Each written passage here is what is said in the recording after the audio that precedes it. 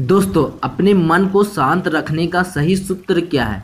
इस वीडियो में आपको बिल्कुल सही और सटीक जानकारी दी जाएगी, इसलिए आप इस वीडियो को अंत तक देखें। दोस्तों, मन को शांत रखने का सबसे बड़ा सूत्र है रोज़ाना आपको ध्यान करना होगा रोज़ाना आपको मेडिटेशन करना होगा मेडिटेशन करने से क्या होगी? आपकी जो है याददाश्त की क्षमता बढ़ेगी और आप जो है अपने मन को शांत कर पाएँगे।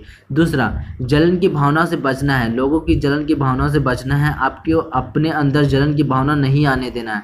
तीसरा, दिमाग को खाली रहने देना है। दिमाग में आलतू फालतू की बातें यहाँ पे थॉट्स नहीं करना, सोचना नहीं है। खुद को माहौल में डालने की कोशिश करना, खुद को उस माहौल में डालने की कोशिश करना जिस माहौल में आप रहते हैं।